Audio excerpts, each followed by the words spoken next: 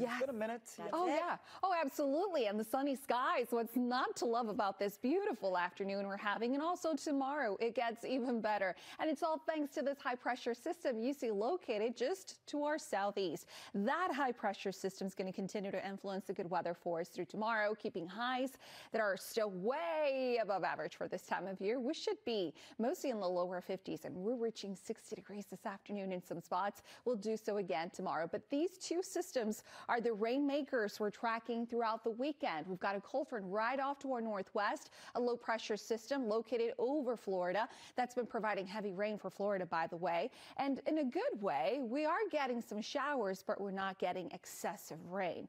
For now, I do have to say conditions will remain quiet throughout the evening, tomorrow, out there, it's bright. Temperatures 56 in Boston, feeling like 56. Highs today in the low 60s for us, and we get to see those low 60s stretching all the way to Bristol County, Plymouth County, even down to Rhode Island. But we're facing the changes throughout the weekend. Friday's the pick of the week, but Sunday is the pick of the weekend, and we're going over Thanksgiving in the exclusive 10 day as well.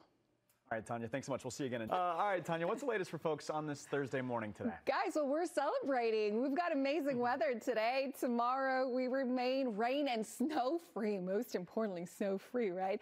Um, but we are looking at the chance of snow up in the higher elevations throughout the weekend. Not for, not for most of us, I got to say. It's mostly rain and also wind affecting us throughout the weekend. But for now, let's just enjoy the good times, the nice mild air, the above average temperatures are going to remain into tomorrow. Highs reach the 60s before we dip back into the 50s and 40s throughout the weekend.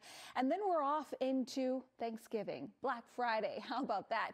Black Friday, I got to say, is looking amazing. But Thanksgiving, we're still on the edge. I'm going to show you why exactly, but let's just focus on the good times, right? The 60s we're having this afternoon. The evening hours bring temperatures dipping from the 50s to the upper 40s. The wind chill might still get to you and reach the upper 40s around that time, especially because it might be still gusting up to 15, 20 miles per hour. But hey, things are looking good. Things are looking quiet out there. No big systems right on the horizon until we get throughout the weekend. This is so nice out there. The clear skies for us continue tonight and our temperatures should reach around 42 in the Boston area, which is slightly above average. Upper 30s inland. The upper 30s remain even for parts of Bristol County, Plymouth County. Tomorrow afternoon, 63 over the Boston area. Manchester, 64. We might even reach mid and upper 60s in the warmest of the spots down towards parts of the uh, uh, Metro West area, maybe even Norwood. 64 is our expected high, but I wouldn't be surprised if we get to reach the mid and upper 60s there. Saturday, though, that's when the changes come along. We dip back to the 50s. We see rain. We see wind as well, affected actually by this low pressure system.